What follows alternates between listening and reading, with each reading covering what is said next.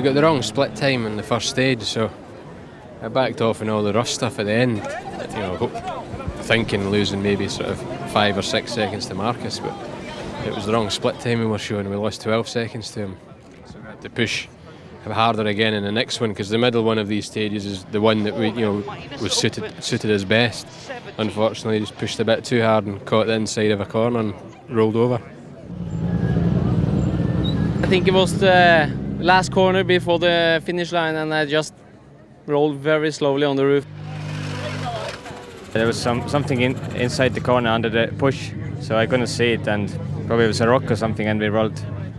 Marcus, are you surprised to have gone from second to first, but with a 50 second lead? That's a huge margin.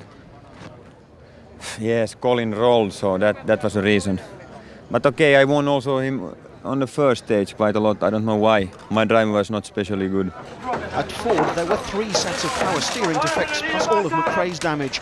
As team boss Malcolm Wilson looked on, a new windscreen was just one of the items his mechanics had to change. To McRae's relief, they worked their usual miracles, 20 minutes later, left on time.